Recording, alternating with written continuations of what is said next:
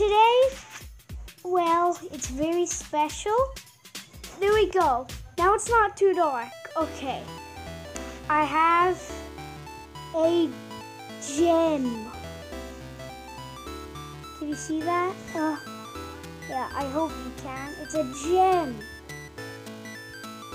And it's an emerald. It's an emerald. And emeralds are worth a lot of money. So I can't believe I found this.